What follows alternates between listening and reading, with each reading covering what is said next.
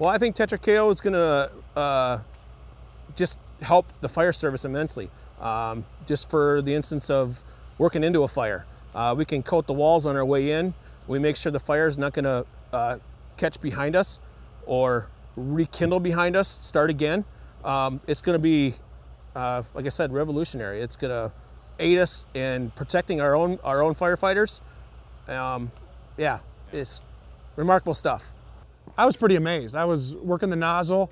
Uh, the initial knockdown was quick, um, and it stayed down. I think longer than it you, you will with water, uh, but especially on the rekindle, um, you could see the fire in the middle there was ripping pretty good. And uh, uh, you know what fire does? It goes and rolls across the ceiling and would have come right out the door.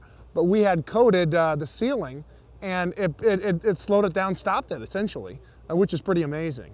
And the other thing I take away from this is we did not use much water or not use much product uh, to knock down and then keep it down. And that's pretty amazing. You know, you can put a couple hundred gallons of water in something like that.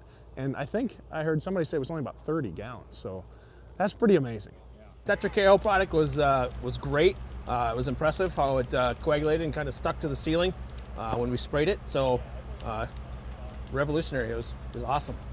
Generally, we'll have the nozzle steady stream of water for you know minutes on time. Uh, it was remarkable. We usually yeah. use probably on a fire like that 200, 300 gallons, just guessing, trying to knock it down. So us firefighters, we're kind of nozzle happy. We like, like, like it that way.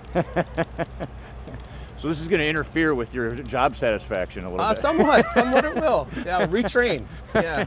Okay, what we're going to do is simulate a rural structure fire right on a farm where we have a barn on fire. It's got a heavy fuel load, significant amount of straw in there. It should go up pretty quick. And what I want you guys to do is go in there, hit the top window, side window, and then through the door, and then underneath the eaves in this opening here.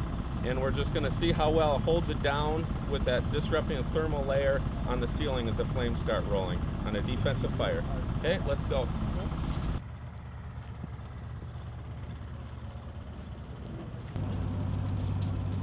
Okay, now you're gonna wanna get that video camera up there.